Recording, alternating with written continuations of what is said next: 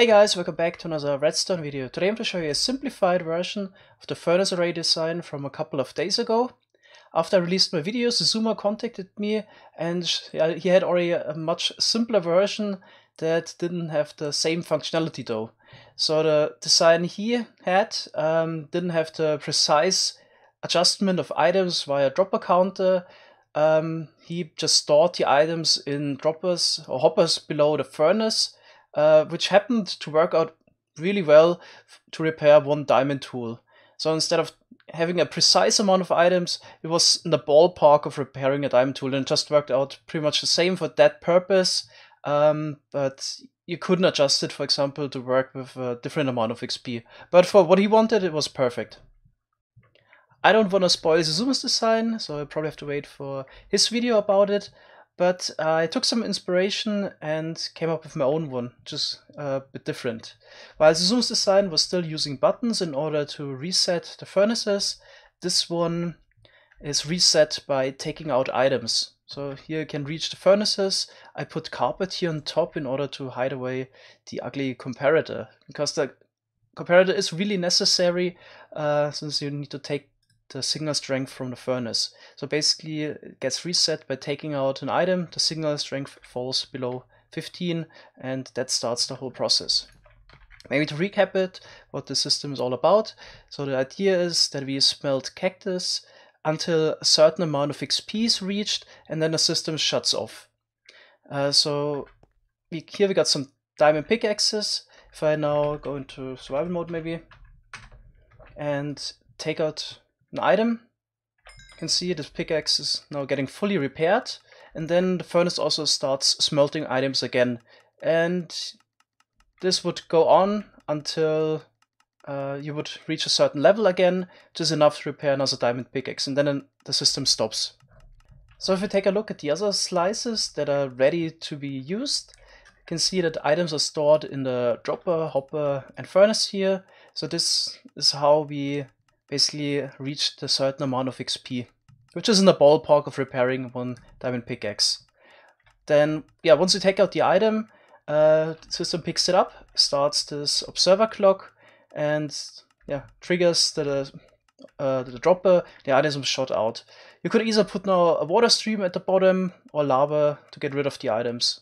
So once the dropper is completely empty, this one is getting emptied right now, then the comparator turns off observer picks it up, and the observer clock, or part of the observer clock is pushed back, and now the dropper could be filled up with new items again. I also copied over one slice so we can see the redstone a bit better. There's not much to say about it, it's fairly compact, and of course it's one wide tileable. So maybe one more word on the supply of items to be smelted, of course using cactus and fuel using bamboo here. I didn't bother adding another cactus and bamboo farm like in my last videos. I just put down some storages. Uh, with this one here, it shouldn't be a problem at all to put a water stream on top. That's the only thing I wanted to mention.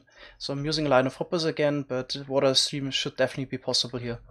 The banners, of course, are only decoration to hide away the, in my opinion, ugly hoppers a little bit. You could also place another one here, but that almost hides away the furnace as well.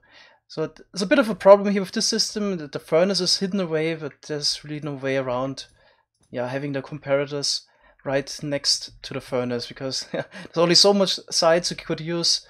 Uh, we already need a hopper at the top, at the back, and yeah, at the bottom another hopper, of course. So that's really the only output that was left over.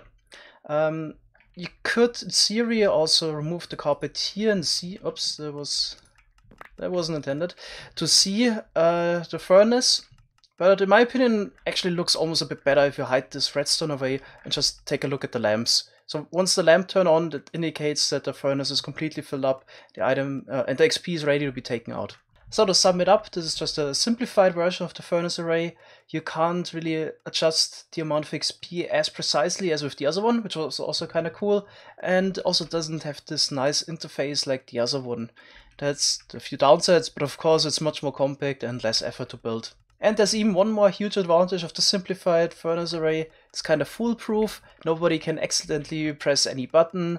System will only start smelting again once it has reached full level and somebody takes out one item. Alright, and I'm gonna show you how you can build this and also discuss some alternatives.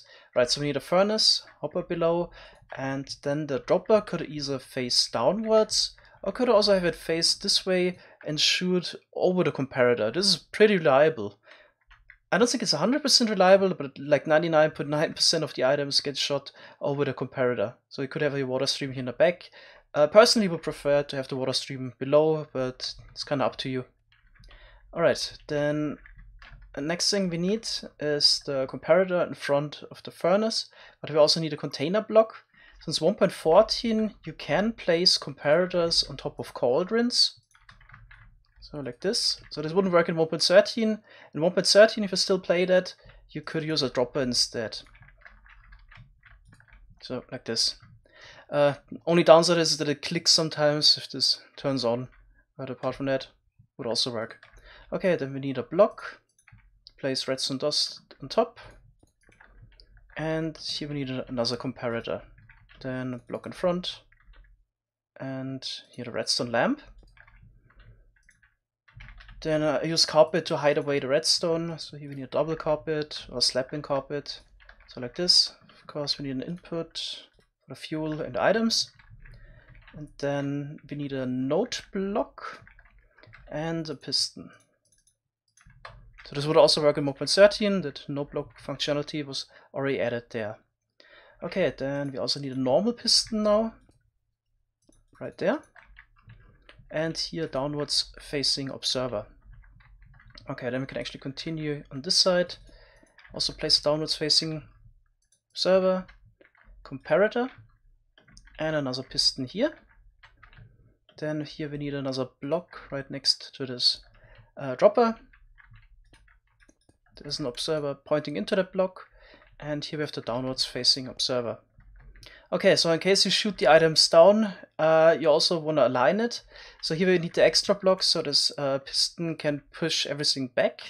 Uh, might also wonder why I don't just put the piston maybe here and wire it like this. Well, now if the uh, dropper receives an item again, this would be also picked up by the uh, comparator, activates the piston, and the item is immediately shot out again. So that's why we have the two blocks here.